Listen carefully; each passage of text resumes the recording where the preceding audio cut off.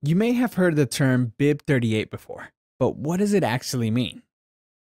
BIP38 is basically a standard way to encrypt a Bitcoin private key with a password. So if someone finds your encrypted key, he can't decipher it without knowing the password. Because of the way it is built, BIP38 also makes it much harder to hack your password through the use of brute force attacks.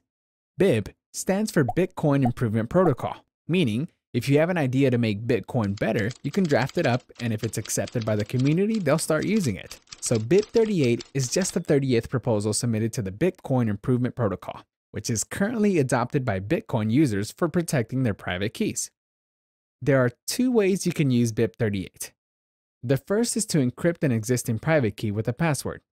The second way to use BIP38 is to let someone else create a private key for you and not allow them to spend your Bitcoins. So if you buy a physical Bitcoin, for example, you'll notice they have a private key printed on them, and the guy who created them knows that key. So having BIP38 allows the creation of these coins and still protect you from the seller's ability to spend them.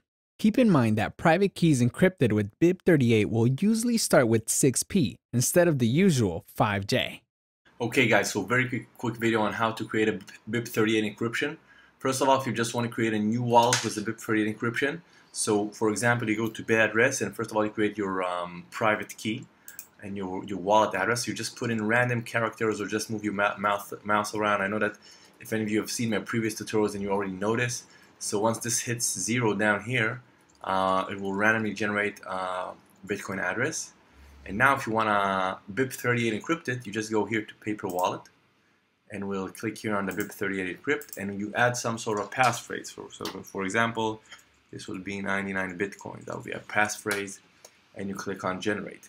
And you'll see that the private key here, which starts with 5J, once we click generate, now it does all these algorithms to kind of encrypt the, the private key. And it will turn to what we talked about, uh, an address starting with 6P.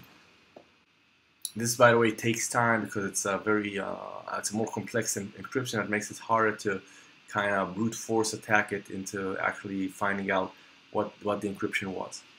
So now we see we have a new private key here that starts with 6p and this is something you can give out to people and you won't be afraid that they'll can take your Bitcoin because it's encrypted. But this is if you wanted to create a wallet from scratch. Let's say you already have a private key and you want encrypted, you're going to use a different website, a website called bit2factor.org. And in this website, bit2factor.org, all you're going to do is enter your passphrase here, for example, 99 Bitcoins, and the private key down here. So let me see for a second if I can, I'll just take the private key from here and put it here inside this and generate encrypted private key. And what it will do is two things. First of all, it will give you a public Bitcoin address, which is always useful if you want to send Bitcoins to. And the other thing it's going to do is it's going to give you the encrypted private key, just like uh, we did before. Only this time, you inserted your own uh, private key here in the beginning and didn't just create something from, from scratch. If you want to encrypt a a current uh, existing Bitcoin wallet, this is what you use, this website, bit2factor.org. For more information, visit 99bitcoins.com. All the information you need to get started with Bitcoin today.